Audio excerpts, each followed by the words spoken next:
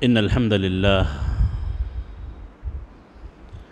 نحمده ونستعينه ونستغفره ونعوذ بالله من شرور أنفسنا ومن سيئات أعمالنا. من يهده الله فلا مضل له ومن يضلل فلا هادي له. وأشهد أن لا إله إلا الله وحده لا شريك له. وأشهد أن محمدا عبده ورسوله صلى الله عليه وعلى آله وصحبه وسلم تسليما كثيرا. يا أيها الذين آمنوا اتقوا الله حق تقاته ولا تموتن إلا وأنتم مسلمون. يا أيها الناس اتقوا ربكم الذي خلقكم من نفس واحدة وخلق منها زوجها وبث منهما رجالا كثيرا ونساء واتقوا الله الذي تساءلون به والأرحام إن الله كان عليكم رقيبا يا أيها الذين آمنوا اتقوا الله وقولوا قولا سديدا. يصلح لكم أعمالكم ويغفر لكم ذنوبكم. ومن يطع الله ورسوله فقد فاز فوزا عظيما. أما بعد فإن خير الكلام كلام الله وخير الهدى هدى محمد صلى الله عليه وآله وسلم. وشر الأمور محدثاتها. وكل محدثة بدعة. وكل بدعة ضلالة. وكل ضلالة في النار. قال الله جل شأنه في كتابه المجيد. يا أيها الذين آمنوا لا تدخلوا بيوتا غير بيوتكم حتى تستأنسوا وتسلموا عليها. وقال جل شأنه في مقام آخر يا أيها الذين آمنوا ليستأذنكم الذين ملكت أيمانكم والذين لم يبلغوا الحلم منكم ثلاث مرات من قبل صلاة الفجر. وحين تضعون ثيابكم من الظهيرة ومن بعد صلاة العشاء ثلاث عورات لكم ليس عليكم ولا عليهم جناح بعدهن. قابل احترام حاضرین جمعہ معزز خواتین ملت تمام تعریفیں ہر قسم کی بڑائی کبریائی اسی اکیلے اللہ کے لیے لائق و زیبہ ہے۔ جس نے ہمیں اسلام جیسی عظیم دولت سے مالا مال کیا۔ بادہ درود و سلام ہو اس نبی ہدا محمد مصطفیٰ صلی اللہ علیہ وسلم کی ذات مبارکہ پر، جن پر درود و سلام اللہ کی رحمتوں، برکتوں کے حصول کا ایک بہترین ذریعہ ہے۔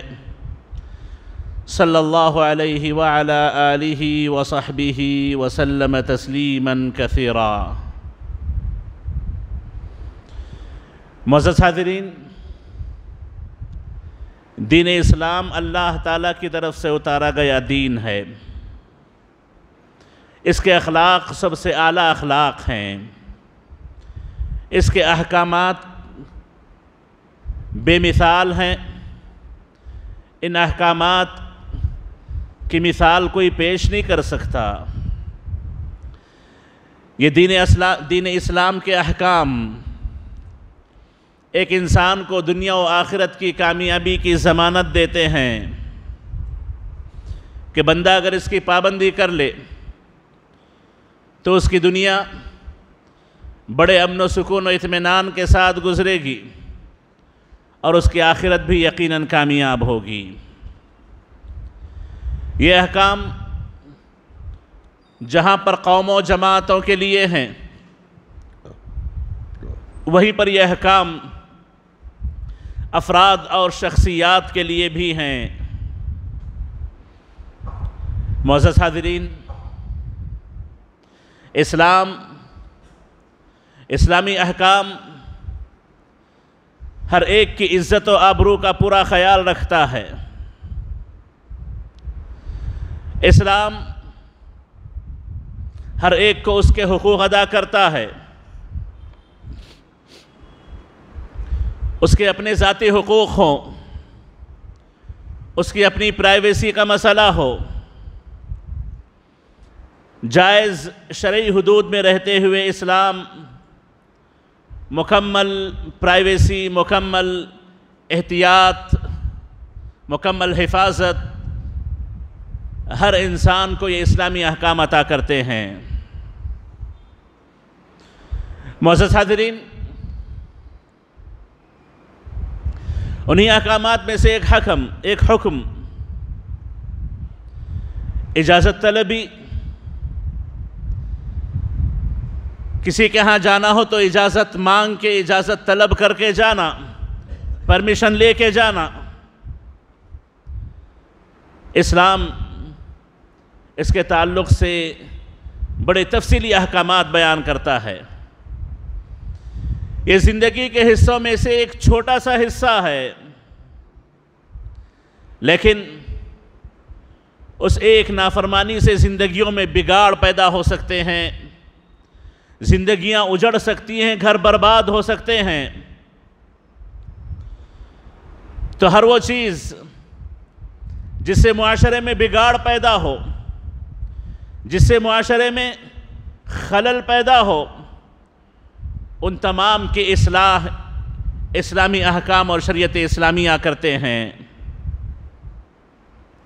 یا ایوہ الذین آمنوا، لا تدخلوا بيوتا غير بيوتكم حتى تستأنسوا وتسلموا على أهلها ذلكم خير لكم إن كنتم تعلمون۔ فرماتے ہیں اللہ تعالیٰ کہ ایمان والو اپنے علاوہ کسی گھر پہ جاؤ، تو جب تک اجازت نہ مانگ لو، سلام نہ کر لو، اس گھر میں داخل نہ ہونا، یہی تمہارے لیے بہتر ہے۔ اگر تم علم رکھتے ہو، جانتے ہو، تو جان لو کہ یہ تمہارے لیے خیر ہے، تمہارے لیے برکت ہے۔ تو مزد حاضرین انسان کو کسی دوسرے آدمی کے پاس جانے سے پہلے اس کے گھر میں داخل ہونا ہو، اس کی دکان میں داخل ہونا ہو، یا اس کی پرائیویسی میں جانا ہو، بغیر اجازت کے کسی انسان کو اجازت نہیں ہے کہ وہ اس پر نظر ڈالے یا اس کے پاس بغیر اجازت کے چلا جائے، حتی تستأنسوا وتسلموا علی اہلہا، جب تک کہ اجازت نہ مانگ لو، سلام نہ کر لو، داخل نہیں ہونا چاہیے۔ اور اجازت مانگی کیوں جاتی ہے؟ اجازت مانگنے کے مقاصد میں سے بڑا اہم مقصد یہ ہے کہ ہو سکتا ہو کسی ایسی حالت میں ہو ہو سکتا ہو کسی ایسے کام میں ہو ہو سکتا ہو کسی ایسی مصروفیت میں ہو، جس مصروفیت میں نہیں چاہتا کہ کسی اور کی اس پر نظر پڑے، کوئی اور اسے دیکھ لے، اس حالت میں کسی اور کی نظر وہ اپنے اوپر پسند نہیں کرتا۔ تو جب تک اجازت نہ مانگی جائے، اس کے پاس جانے سے، اس کے طرف دیکھنے سے منع کیا گیا۔ فرماتے نبی کریم علیہ السلام انما جعل الاستئذان من اجل البصر کہ اجازت مانگنے کا حکم جو دیا گیا، یہ آنکھوں کی حفاظت کے لیے ہے۔ جب بغیر اجازت کے بندہ کسی کے پاس جانا نہیں چاہیے، تو بغیر اجازت کے جھانکنا، دروازوں سے جھانکنا، دروازوں کے سامنے جا کر کے کھڑے ہو جانا، کسی اور کو دیکھنا بغیر اس کی اجازت کے اسے گھورنا، یہ تمام چیزیں شریعت میں ناپسندیدہ ہیں، شریعت میں حرام ہیں۔ بلکہ یہاں تک احکام ہیں کہ اگر کوئی آدمی کسی دوسرے کی پرائیویسی میں جھانکے اور اگر جس کو جھانکا جا رہا ہو وہ اٹھ کر کے کوئی چیز پھینک کر کے مار دے یا کوئی چیز چبھو دے اور اس کی آنکھ ضائع ہو جائے، تو اس کا کوئی بدلہ نہیں ہے۔ اسے اجازت ہے اس بات کی کہ اگر کوئی چیز پھینک کر کے مار دے، اس کی آنکھ پھوٹ بھی جائے تو کوئی حرج کی بات نہیں ہے، کوئی مذائقہ نہیں ہے۔ کیونکہ اجازتیں، اجازتوں کے حکام بنے اسی لیے ہیں تاکہ انسان کی نظر اس پر نہ پڑے۔ محسوس حاضرین بڑے آداب ہیں اسلام میں اس اجازت طلبی سے متعلق۔ ان میں سے ایک حکم یہ ہے کہ نبی کریم علیہ السلام والسلام بیٹھے ہوئے تھے۔ ربعی کہتے ہیں کہ بنو عامر کے قبیلے کے ایک شخص نے اللہ کے نبی سے اجازت طلب کی۔ کہنے لگا، میں آ جاؤں؟ میں اندر داخل ہو جاؤں؟ تو اللہ کے نبی نے کہا کہ کون ہے یہ؟ اللہ کے نبی نے اپنے خادم سے کہا، جاؤ جا کر کے اسے آداب سکھاؤ، کہو کہ اجازت ایسے مانگی جاتی ہے، السلام علیکم ادخل پہلے سلام کر لیں گے، پھر اجازت مانگیں گے کیا میں آ سکتا ہوں؟ بغیر سلام کی اجازت طلب نہیں کی جاتی۔ اجازت کا طریقہ یہ ہے کہ سب سے پہلے آپ السلام علیکم کے کلمات کہیں۔ السلام علیکم آپ کہیں۔ اجازت طلبی کا سب سے پہلا ادب ہے۔ بلکہ اس سے پہلے آپ یہ بھی یاد رکھیں کہ اگرچہ کہ آپ کو ہر ایک کے پاس، کسی کے پاس بھی جانے کی چھوٹ ہے، جا سکتے ہیں آپ۔ لیکن عرف میں، اپنے ماحول میں، اپنے معاشرے میں کچھ اوقات ایسے ہوتے ہیں جن اوقات میں جانا اچھا نہیں لگتا۔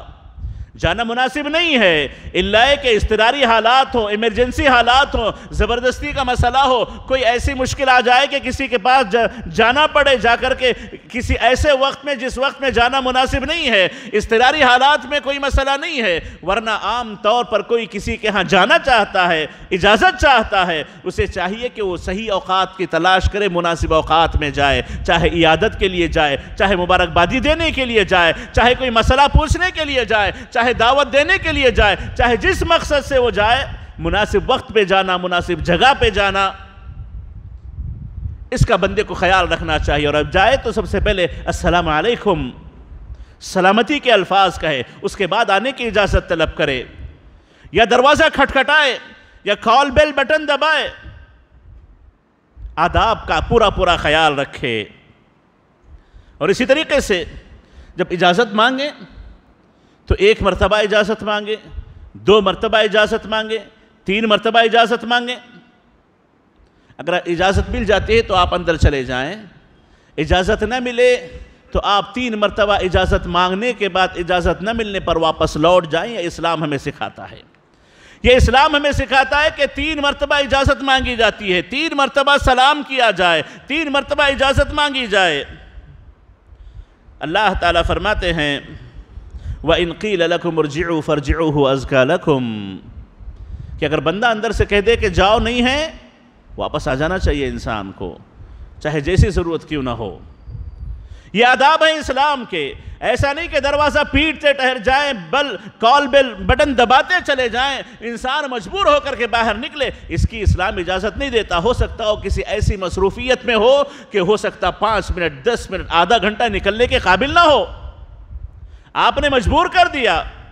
اسلام آداب سکھاتا ہے۔ اسلام ہر وہ چیز جس سے لوگوں کے دلوں میں نفرتیں پیدا ہو خلل پیدا ہو ایک دوسرے سے تکلیف ہو، ایک دوسرے سے نفرت کا کوئی سبب بن سکتا ہو، ان تمام سے اسلام روکتا ہے۔ محبت والے آداب اسلام سکھاتا ہے۔ تین مرتبہ اجازت مانگے، اجازت نہ ملے تو لوٹ کر کے چلے جائیں۔ نبی کریم علیہ السلام نے فرمایا، اِذَا اسْتَأْذَنَ أَحْدُكُمْ ثَلَاثًا فَلَمْ يُؤْذَن لَهُ فَلْيَرْجِعْ تم میں سے اگر کوئی آدمی کسی کے پاس جانے کی تین مرتبہ اجازت مانگ لے، وہ اجازت نہ دے، تو فلیرجع اسے لوٹ جانا چاہیے۔ اسے وہاں سے پلٹ جانا چاہیے۔ اور اسی طریقے سے جب اجازت طلب کرے، تو چاہیے کہ اپنا نام بتائیں۔ السلام علیکم، اندر سے جواب آئے، وعلیکم السلام، کون ہے تو بجائے اس کے کہ میں ہوں، جواب دینا چاہیے اپنے نام کے ذریعے۔ ایک روایت میں آتا ہے، جابر رضی اللہ راوی ہیں کہ انہوں نے آ کر کے اللہ کے نبی کے دروازے پہ کھٹکھٹایا، اجازت مانگی، پوچھا کون ہے؟ تو کہتے ہیں، جابر میں نے کہا، میں ہوں۔ اللہ کے نبی نے کہا کہ میں میں کہنہو کری ہو گویا اللہ کے نبی کو ناپسند لگا یہ کہنا کہ میں ہوں۔ میں سے انسان نہیں پہچانا جاتا۔ ہر انسان کا اپنا نام ہوتا ہے۔ نام کہنا چاہیے کہ فلاں ہیں۔ اگر کوئی کہہ دے، میں ہوں، یہ سمجھ جائے کہ فلاں شخص ہے۔ اجازت دے دے، اندر آئے تو پتہ چلا کوئی اور ہے۔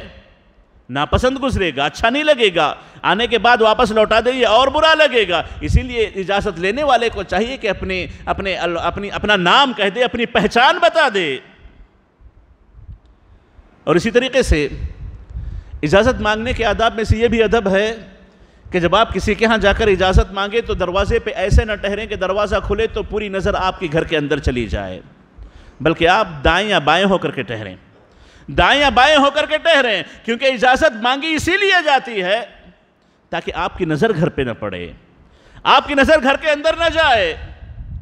تو آداب یہ ہیں کہ انسان دائیں یا بائیں ٹہرے، اور خصوصی طور پر وہ گھر جن گھروں پہ پردے لٹکے نہیں ہوتے ہیں ان گھروں کے بالکل سامنے نہیں ٹھہرا جاتا۔ ہو سکتا کوئی عورت دروازہ کھول دے، ہو سکتا مرد دروازہ کھولے، اندر عورت بیٹھی ہوئی ہو، اس پہ نظر پڑ جائے۔ ان تمام سے پرہیز کرنا چاہیے، آداب اسلام نے ہمیں سکھائے ہیں۔ اور اسی طریقے سے اسلام کے آداب میں بھی ایک ادب ہے کہ دروازے کو بڑی سختی کے ساتھ پیٹنا، زور سے پیٹنا، کال بل بٹن زور سے دبانا، دبا کے پکڑے رہنا۔ یہ سب بے ادبی کی نشانیاں ہیں۔ بے ادبی ہے، اس میں عرف کا خیال کرنا چاہیے۔ عرف کا خیال کر کے انسان عرف میں، اپنے ماحول میں، اپنے معاشرے میں جو با ادب مثقف کلچرڈ لوگوں کے جو اخلاق ہوتے ہیں ان اخلاق کو اپنانا چاہیے۔ یہ اخلاق اسلام ہمیں سکھاتا ہے۔ وَأْمُرْ بِالْعُرْفِ وَعْرِدْ الْجَاهِلِينَ اللہ کے نبی علیہ السلام کو اللہ نے اسی بات کا حکم دیا کہ آپ معروف کا حکم دیجیے اور یہ معروفات میں داخل ہیں۔ اور اسی طریقے سے اجازت طلبی کے آداب میں سے یہ بھی ایک ادب ہے کہ اگر آپ اجازت طلب کریں، بندہ اگر آپ کو واپس لوٹا دے تو آپ خوشی خوشی واپس لوٹ جائیں، آپ کو برا نہیں ماننا چاہیے، یہ حق اللہ نے اسے دیا ہے، شریعت نے اسے دیا ہے۔ آپ چڑ میں نہ آئیں کہ میں نے اجازت طلب کی، میں نے اجازت مانگی، وہ کیسے مجھے روک سکتا ہے؟ اس کی اجازت نہیں ہے، یہ آپ کو حق نہیں پہنچتا۔ اللہ کے نبی علیہ السلام اللہ تعالیٰ فرماتے ان قیل لکم ارجعو فرجعو اگر کہا جائے کہ لوٹ جاؤ تو لوٹ جاؤ وہاں سے۔ اور لوٹو ایسے کہ دل میں کوئی خلش آپ کے نہ ہونی چاہیے۔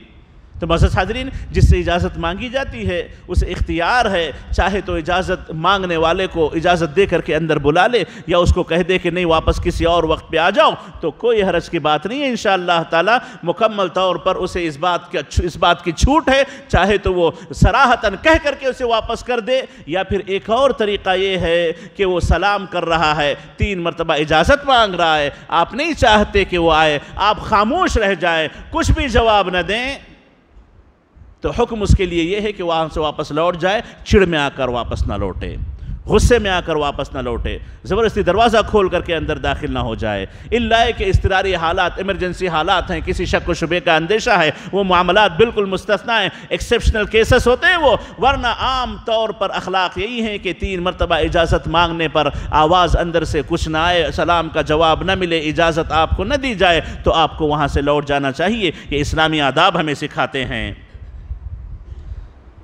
اور محسوس حاضرین، اسی طریقے سے اپنے گھروں میں داخل ہونے کے بھی آداب ہیں۔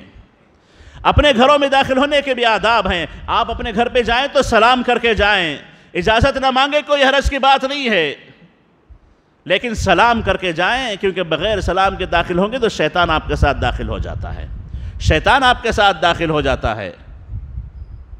اور گھروں میں رہتے ہوئے ماں باپ، اولاد یا اس سے اور آگے بڑھ کے جوائنٹ فیملی کا اگر کوئی سسٹم ہو، تو بھائی اس کی بیوی، بہن اس کا شوہر، یا پھر مختلف قسم کے رشتہ دار ایک ہی گھر میں پورا جوائنٹ فیملی کی شکل میں خاندان ہو، تو وہاں پر اجازت طلبی کے آداب دوبارہ آ جاتے ہیں کہ اگر ان کا اپنا کوئی مخصوص روم ہو، ان کا اپنا کوئی کمرہ ہو، تو بغیر اجازت کے اس کمرے میں جانے کی ہر ایک کو اجازت نہیں ہے۔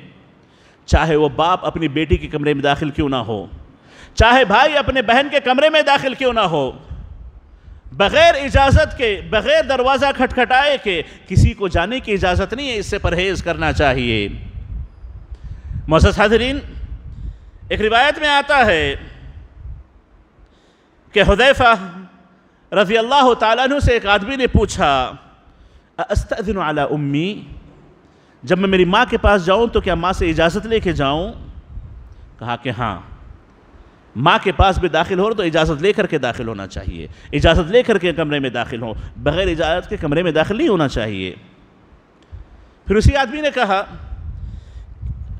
کہ دو میری بہنیں ہیں جن کو میں نے ہی پالا ہے۔ جن کو میں نے ہی پالا ہے، میری گود میں پل کر کے بڑی ہوئی ہیں۔ میں ہی ان پہ خرچ کرتا ہوں، میں ہی ان کے ذمہ دار ہوں۔ کیا ان کی بھی اجازت مانگوں؟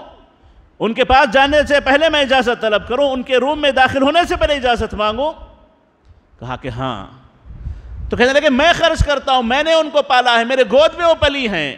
تو کہنے لگے، کیا تم یہ پسند کرتے ہو کہ وہ ننگی ہو تمہاری نظر ان پر ویسے ہی پڑ جائے؟ کیا تم یہ پسند کرو گے کہ تمہاری نظر جب اس پہ پڑے تو ان پہ کپڑے نہ ہو کیونکہ انسان اپنی خلوت میں، اپنے اکیلے میں کسی بھی کام میں مصروف ہو سکتا ہے، ہو سکتا کپڑے بدل رہا ہو ہو سکتا لیٹا ہوا ہو ہو سکتا حالت کچھ مختلف ہو، بغیر اجازت کے بندہ داخل ہو جائے، تو اس سے پرہیز کرنا چاہیے۔ چاہے وہ اپنے محرم کیوں نہ ہوں، جیسے انسان، کوئی آدمی اپنی ماں کے کمرے میں جائے، بہن کے کمرے میں جائے پھوپی کے کمرے میں جائے، خالہ کے کمرے میں جائے، چاہے جس کے کمرے میں جائے، اس کے اپنے محارم کیوں نہ ہوں؟ پرہیز کرنا چاہیے، بغیر اجازت کے نہ جائیں کسی کے روم میں۔ بغیر اجازت کے نہ جائیں کسی کے روم میں۔ بلکہ اللہ کے نبی علیہ السلام نے یہاں تک کہا کہ شوہر اگر کسی سفر پہ ہو، گھر واپس لوٹ رہا ہو، تو بغیر اطلاع کے راتوں رات گھر میں نہ داخل ہو جائے۔ بغیر اطلاع کے راتوں رات گھر میں نہ آئے، بلکہ سفر سے لوٹنے سے پہلے بیوی کو بتا دے کہ میں فلاں دن لوٹنے والا ہوں، تاکہ بیوی تیار رہے۔ یہ آداب ہمیں اسلام سکھاتا ہے تاکہ الفت محبتیں بڑھیں، برائیاں نہ پھیلیں، غلط نظریں نہ ہوں، غلط قسم کے وسوسے شیطان نہ پیدا کرائے۔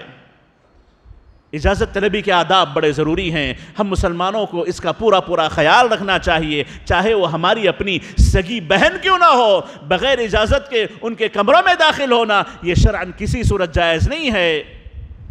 جبکہ اللہ تعالیٰ نے کہا، یا ایوہ الذین آمنوا، لیستأذنکم الذین ملکت ایمانکم والذین لم یبلغ الحلو منکم ثلاث مرات. کہ ایمان والو، تمہارے غلام اور لونڈیاں بھی کیوں نہ ہوں؟ اور چھوٹے بچے بھی کیوں نہ ہوں؟ تین اوقات ایسے ہیں جن اوقات میں ان لوگوں کو اجازت لے کر کے گھروں میں داخل ہونا چاہیے، اجازت لے کر کے ان کے رومز میں آنا چاہیے۔ من قبل صلاة الفجر فجر کی نماز سے پہلے۔ فجر کی نماز سے پہلے بغیر اجازت کے کوئی لڑکا اپنے ماں باپ کے روم میں داخل نہ ہو۔ بغیر اجازت کے چاہے چھوٹا بچہ بھی کیوں نہ ہو۔ من قبل صلاة الفجر۔ اور دوپہر کا وقت جب لوگ تھوڑا قیرولہ کرتے، آرام کرتے ہیں۔ وَحِينَ تَدَعُونَ ثِيَابَكُمْ مِنَ الظَّهِيرَةِ دوپہر کا آرام کرنے کا وقت ہو۔ اپنے ماں باپ کے کمرے ہی میں کیوں نہ ہو؟ بغیر اجازت کے بچوں کو، کام والوں کو جانا نہیں چاہیے۔ اور عشاء کے بعد کا وقت، عشاء کے بعد کا وقت، ان تین اوقات میں بچوں کو بغیر اجازت کے اپنے والدین کے گھروں میں جانا نہیں چاہیے۔ جب بچوں کو اپنے والدین کے والدین کے رومز میں جانے سے پہلے اجازت طلب کرنی ہو، تو جو بالغ ہیں یا جو والدین کے علاوہ بھائی بہن ہیں، بھیا بھابی ہیں، چاہے جو ہوں بغیر اجازت کے کسی کے کمرے میں داخلہ ممنوع ہے۔ اس لیے کہ کہیں نظر نہ پڑ جائے۔ اور ان سب سے یہ بھی حکم ملتا ہے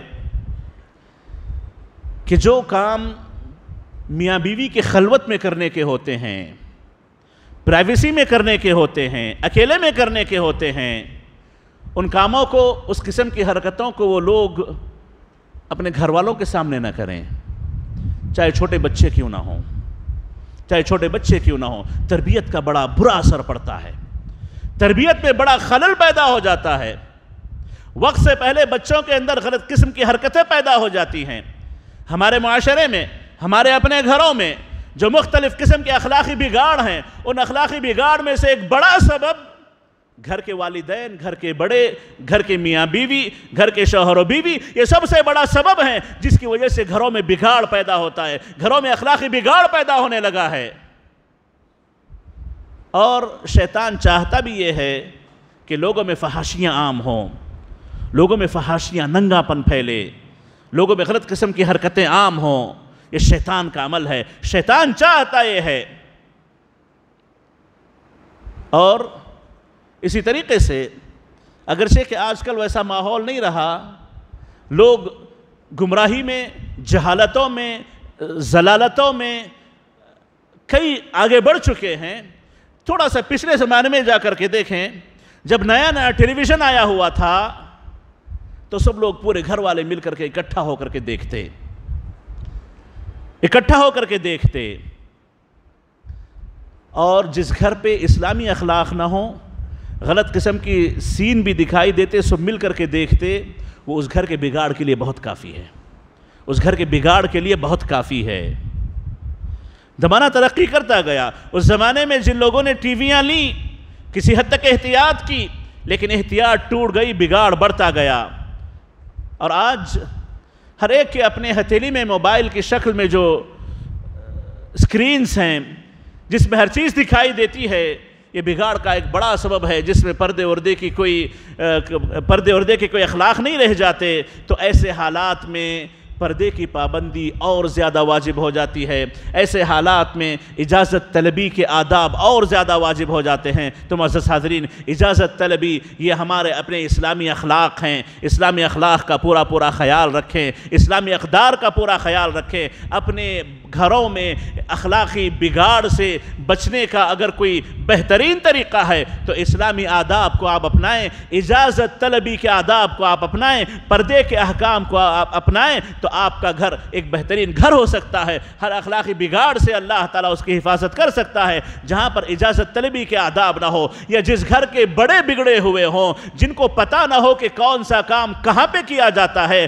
کس قسم کے کام کن کے سامنے نہیں کرنے چاہیے، یہ جس کو پتہ نہ ہو، وہ اپنے ہاتھ سے اپنے گھروں کو بگاڑتے ہیں، اپنے ہاتھ سے اپنے گھروں کو اجاڑتے ہیں۔ تو معزز حاضرین، اسلامی اخلاق کو، اسلامی اقدار کو اپنائیں، اس کو مکمل طور پر سمجھنے کی کوشش کریں اور جو چیزیں پتہ ہوں اس پر مکمل طور پر عمل پیرا ہو جائیں اور اپنے بچوں کی صحیح تربیت کریں، اپنے ماحول کو اسلامی ماحول بنائیں، اپنے گھرانوں کو اسلامی گھرانہ بنائیں۔ اللہ تعالیٰ سے دعا ہے کہ اللہ تعالیٰ ہمیں اسلامی اخلاق و اقدار اپنانے کی توفیق نصیب فرمائے۔ آمین۔ اقول قولی هذا واستغفر الله لي ولكم ولسائر المسلمين من كل ذنب فاستغفروه إنه هو الغفور الرحيم.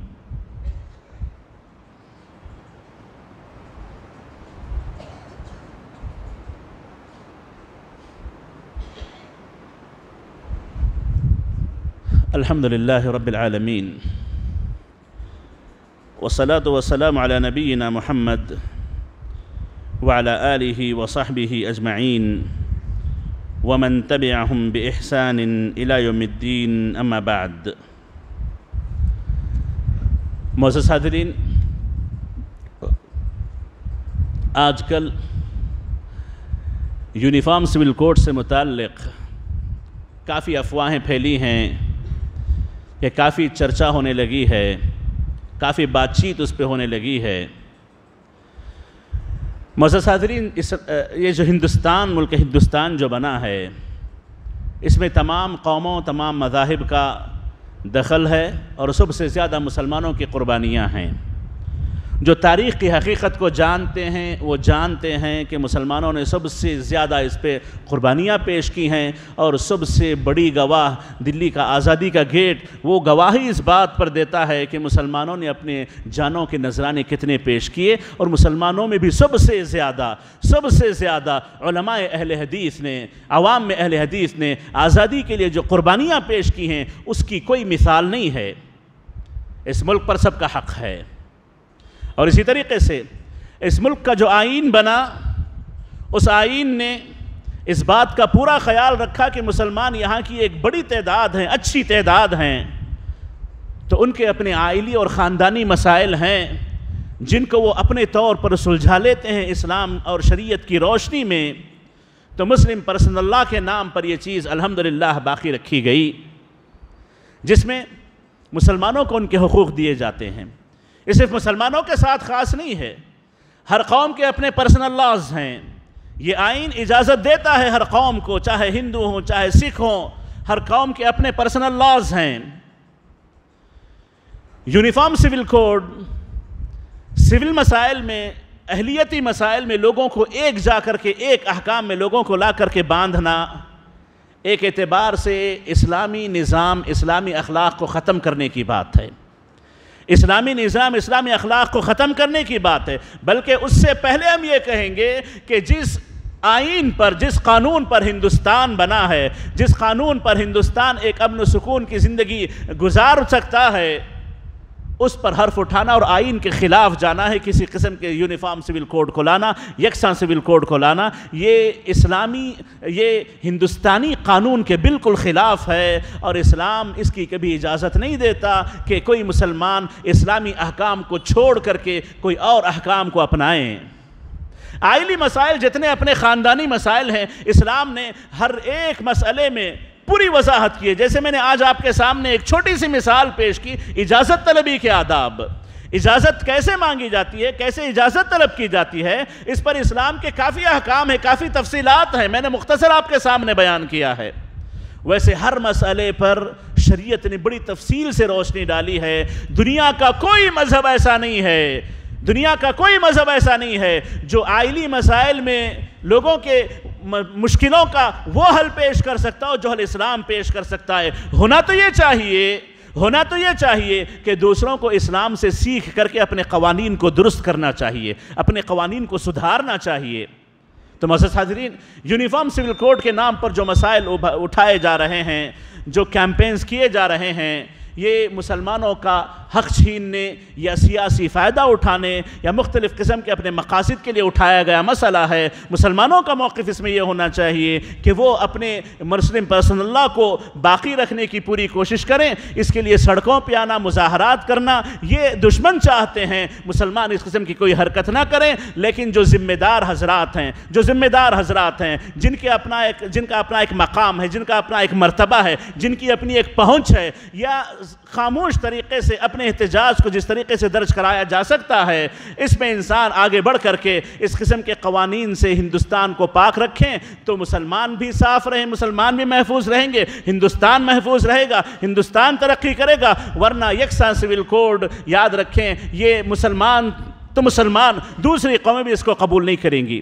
دوسری قومیں بھی اسے قبول نہیں کریں گی۔ تو معزز حاضرین، یہ جو مسئلہ اٹھایا جا رہا ہے، ہر کوئی اس پہ اپنی زبان نہ کھولے، ہر کوئی آگے بڑھ کر کے بولنا، اس پہ بات کرنا نہ کرے، بلکہ ذمہ دار اور علم رکھنے والے حضرات، جن کی اپنی پہنچ ہو، وہ اپنے رسوخ کا پورا استعمال کر کے اس کو روکنے کی جو ممکن ہو سکتی کوشش، وہ ضرور کرے، یہ ان کی ذمہ داری بنتی ہے۔ اور اگر وہ نہ کرے، تو اللہ تعالیٰ کے پاس ہو سکتا پوچھے جائیں گے۔ تو معزز حاضرین، اس مسئلے میں ہر کوئی اپنی زبان کھولنا، ہر کوئی اپنی بات کرنا، یا غلط قسم کے احتجاجات کرنا ہے، سڑکوں پہ مظاہرے نکالنا، اس کی اسلام اجازت نہیں دیتا ہے۔ یہ سب چیزیں مناسب نہیں ہیں، جائز نہیں ہیں۔ تو صحیح طریقے سے، مناسب طریقے سے اس کا جو حل ہو سکتا ہے، اس کی آپ کوشش کریں۔ اس کے ذریعے ہمارا اسلام، ہمارا آئلی قانون مسلم پرسن لا محفوظ ہو سکتا ہے۔ اور یہ محفوظ ہوگا تو ہمارے اخلاق محفوظ رہیں گے، ہمارے اقدار محفوظ رہیں گے، ہماری شخصیت محفوظ رہے گی، ہمارا اسلام محفوظ رہے گا۔ اللہ تعالیٰ سے دعا ہے کہ اللہ تعالیٰ ہمیں اسلامی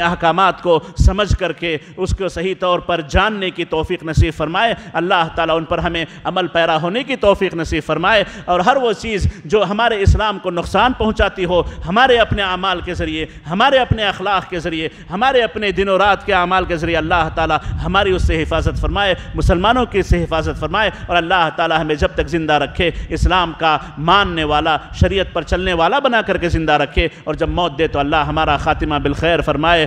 سوئے خاتمہ سے اللہ تعالی ہماری حفاظت فرمائے اور اللہ تعالیٰ ہر قسم کے فتنوں سے مصیبتوں سے تمام مسلمانوں کی تمام ہندوستان کے مسلمانوں کی تمام عالم کے مسلمانوں کی حفاظت فرمائے آمین ان اللہ وملائکت صلون علی النبی یا ایوہ الذین آمنوا صلو علیہ وسلم تسلیما اللہم صلی علی محمد وعلى آل محمد كما صلیت علی ابراہیم وعلى آل ابراہیم انکا حمید مجید اللہم بارک علی محمد وعلى آل محمد كما بارکت علی ابراہیم وعلى آل أبي بكر وعمر وعثمان وعلي وعن الصحابة أجمعين وعنا معهم بعفوك وكرمك يا أكرم الأكرمين. إن الله يأمر بالعدل والإحسان وإيتاء ذي القربى وينهى عن الفحشاء والمنكر والبغي يعظكم لعلكم تذكرون. اذكروا الله يذكركم واشكروه على نعمه يزدكم ولذكر الله أكبر والله يعلم ما تصنعون.